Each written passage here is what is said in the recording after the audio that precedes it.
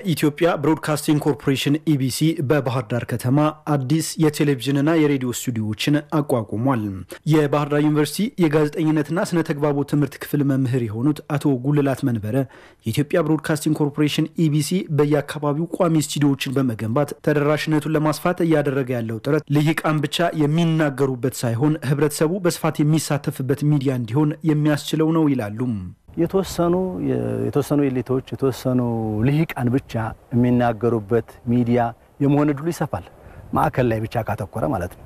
ወረድ ባለ ቁጥር ሌላውን ማንም ሰው የሚኖረውን የዕለት ተዕለት ኑሮ የሚኖሩ የማህበረሰብ ክፍሎችን ማሳየት እዚህ አካባቢ ያሉትን የተለዩ ባህሎች፣ የቱሪስት መስህቦች፣ አጠቃላይ እንቅስቃሴዎችን ለማሳየት እድል ስለሚፈጥር የበለጠ አሳታፊ ያደርገዋል ማለት ነው።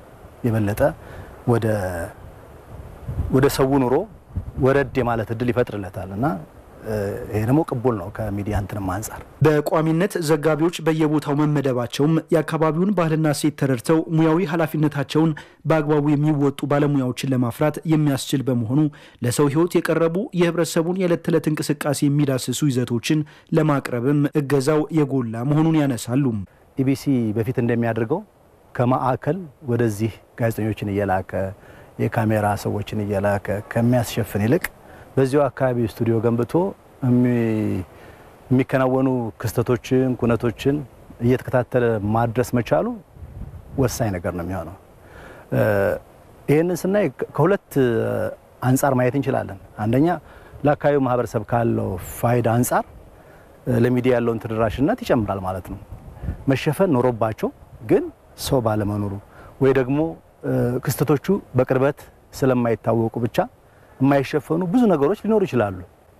አሁን እዚህ ስቱዲዮ ያላችሁ ማለት እነኝህን ሁላ ነገሮች ለመሸፈን እድል ይሰጣል ማለት ነው። ስለዚህ ለድርጅቱ አንድ ጥሩ ነገር ነው። ኢቢሲ ብሔራዊ ሚዲያ እንደመሆኑ በየአካባቢው ተደራሽ ለመሆን እያደረገ ያለው ጥረት ከሁሉም የሀገሪቱ ክፍሎች ሕዝብን ከሕዝብ የሚያቀራርቡ መረጃዎችን በማቅረብ ብሔራዊ አንድነትን ለማጠናከር የበኩሉን ሚና እንዲወጣ እድል የሚፈጥር መሆኑንም አቶ ጉልላት ገልጸዋል። ይሄ አገራዊ ሚዲያ እንደመሆኑ መጠን የዚህ ክልል፣ የዚህ ጎሳ፣ የዚህ ብሔር ሳይል መሸፈን ያለባቸውን ጉዳዮች ከሙያዊ ስነ ምግባር ከሙያዊ ቅኝት አንጻር ብቻ የማየት እድል ይፈጥርለታል ብዬ አስባለሁ።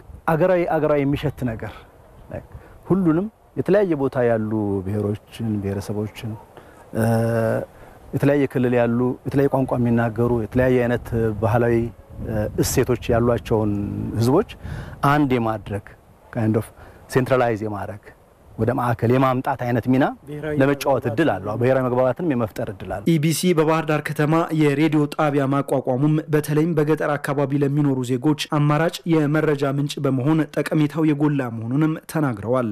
ሬዲዮ የሁሉም ሰው ሚዲየም ነው።